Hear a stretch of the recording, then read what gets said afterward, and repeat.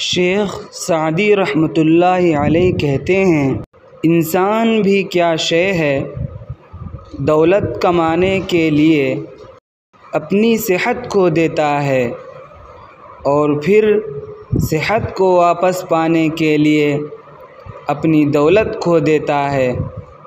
مستقبل کو سوچ کر اپنا حال ضائع کرتا ہے۔ پھر مستقبل میں